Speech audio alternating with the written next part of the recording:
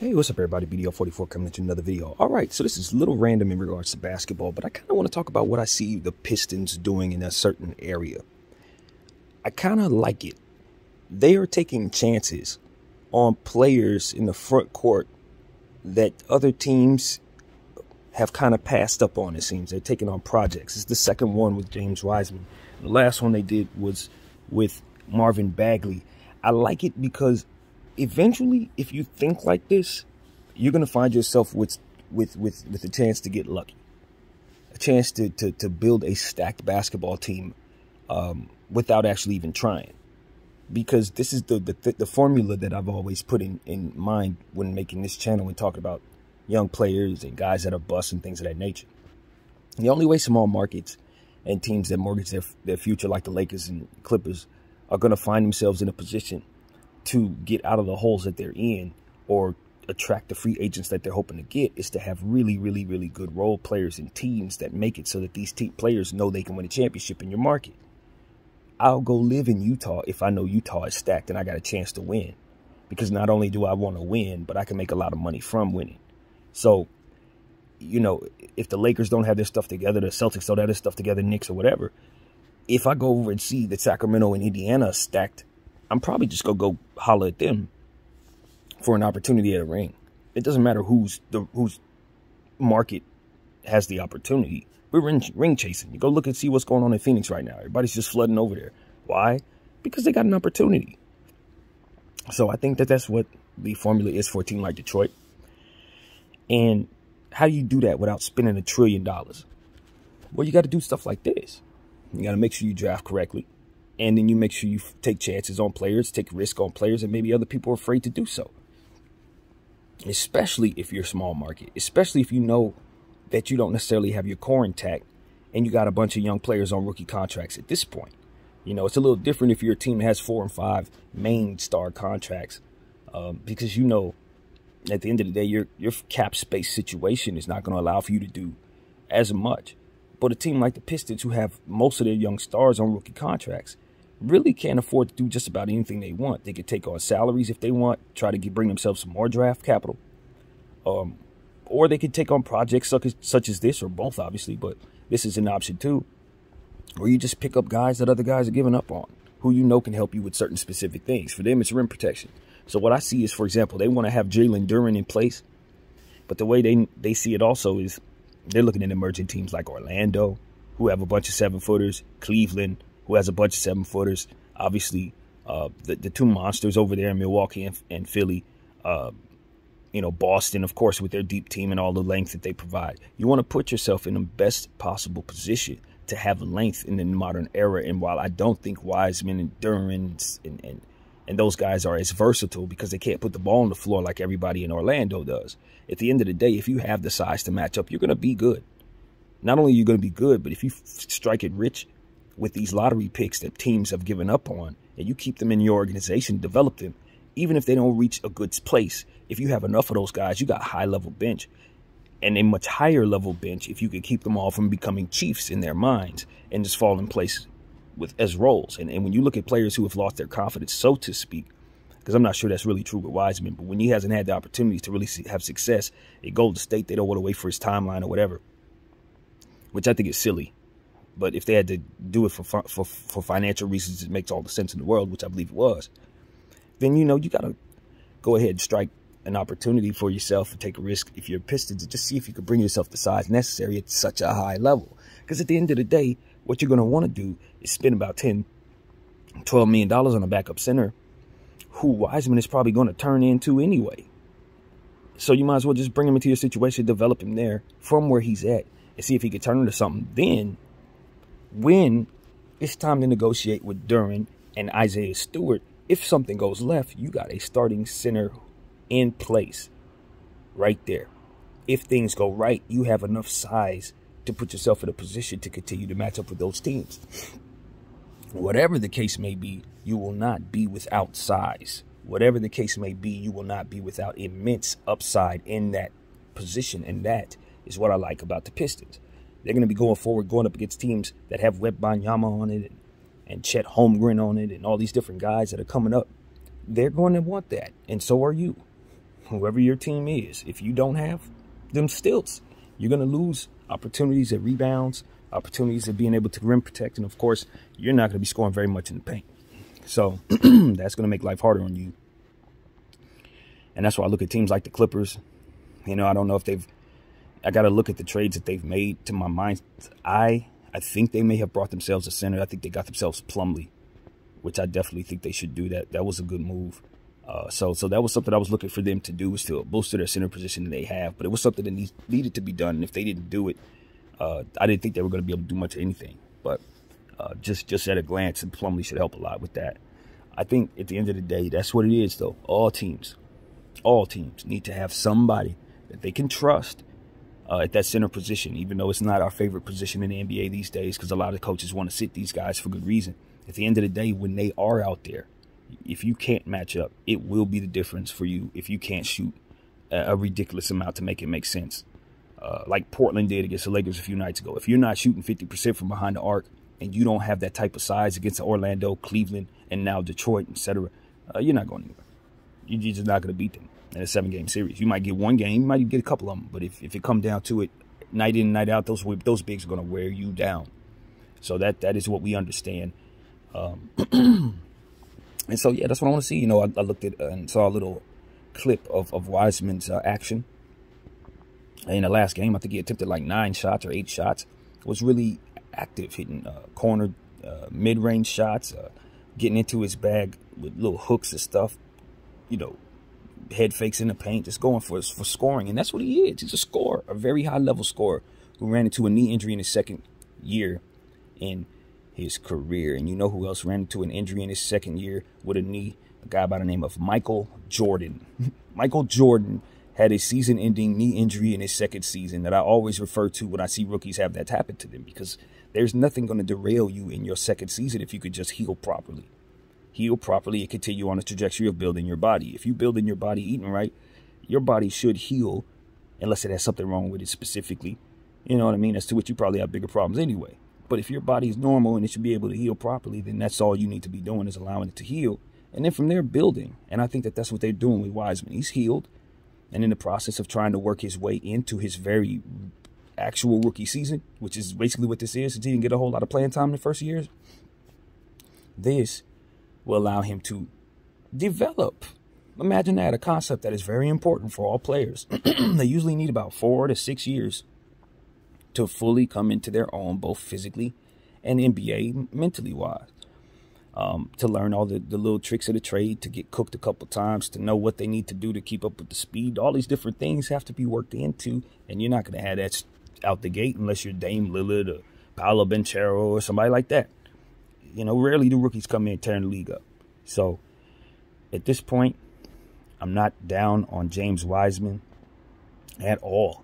I think the possibility of him turning exactly into who he was drafted to be is still there. It's still there. Just like I said about Markelle Fultz. And now y'all see what Markelle Fultz is doing. I knew he was going to do this back when people were talking about his shoulder.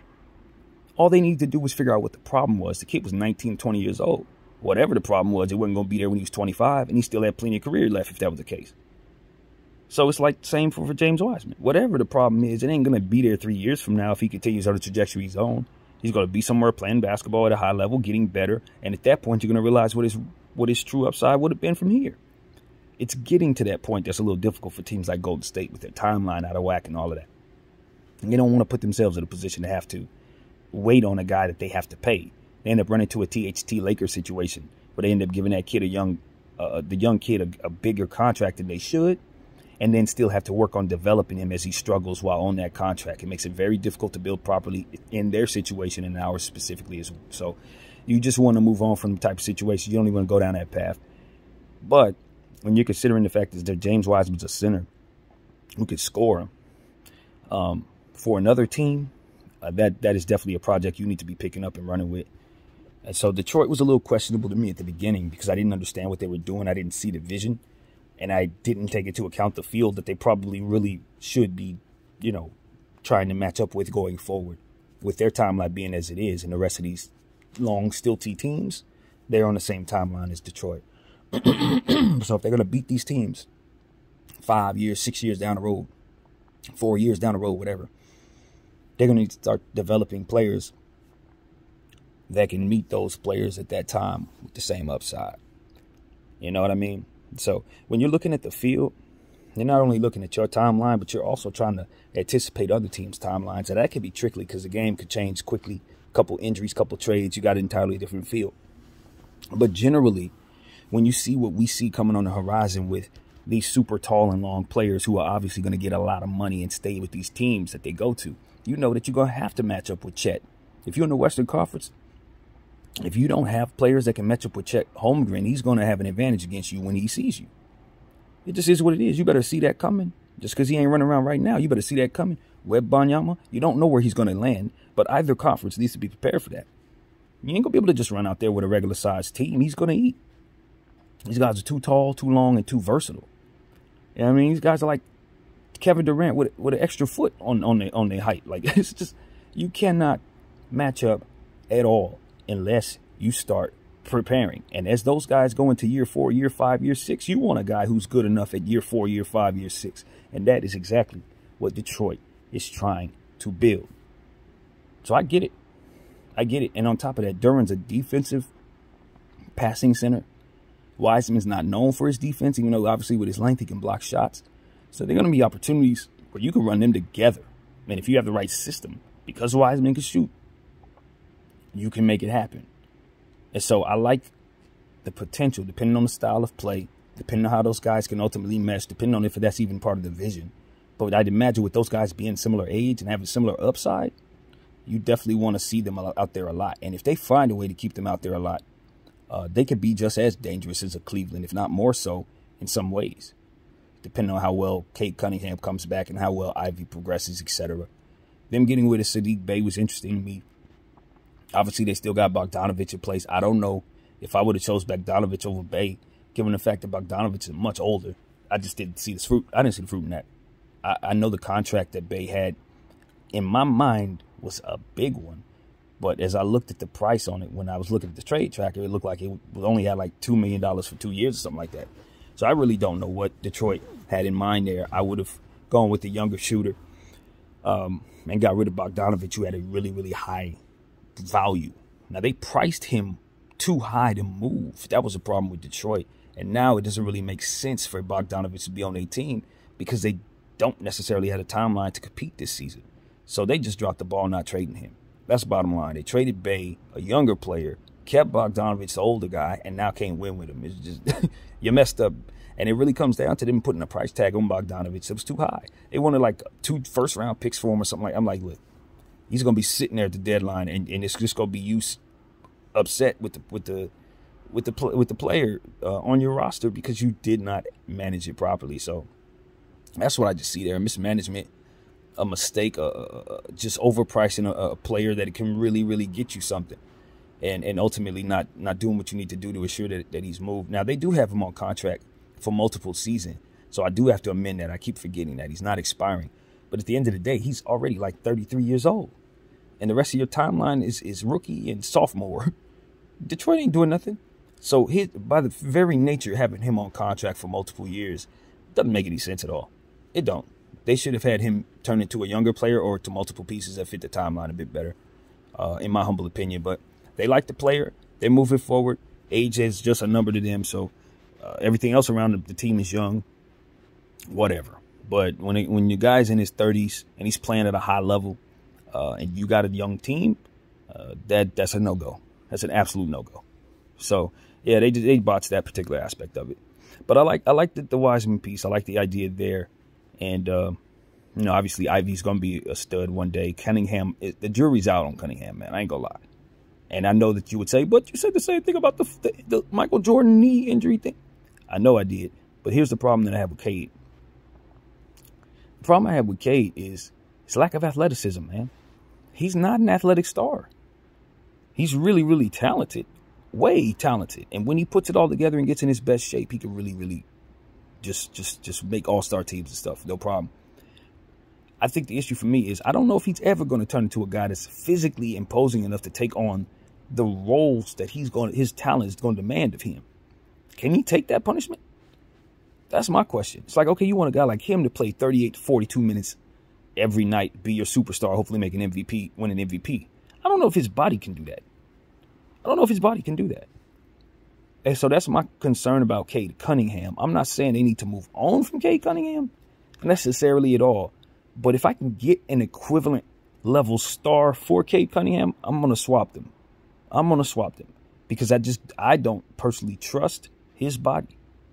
Now, long term, he's going to be a heck of a player. He's going to make a lot of all star teams. A lot of this, what I'm saying, if he doesn't have injury issues, it, it does, isn't relevant. Because if he doesn't have injury issues, I think he's going to be ridiculous. So don't, don't think twice about that. But for guys like that, if they take on enough injuries, the talent level that they have just overall lowers because they get those injuries are going to make it so that they can't be number one stars. He's going to end up being rendered to a number two or number three, and that is not what they drafted him to be first overall two years ago. That's that's not what they drafted him to be.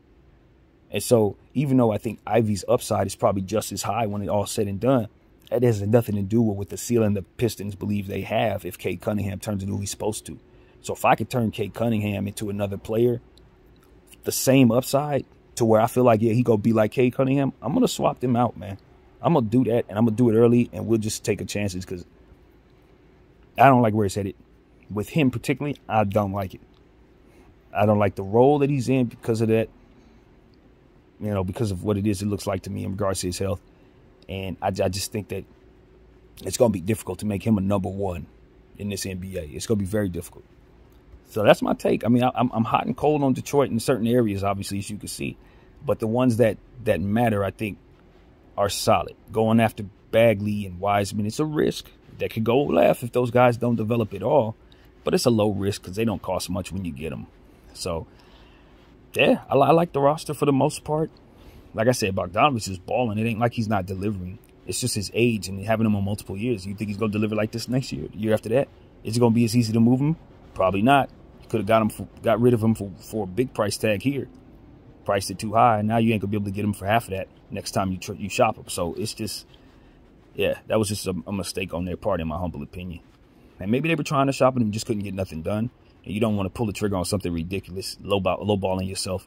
So I could see something like that that may have taken place, but the mistake was made when they priced him that high in the first place. So that is my Pistons talk.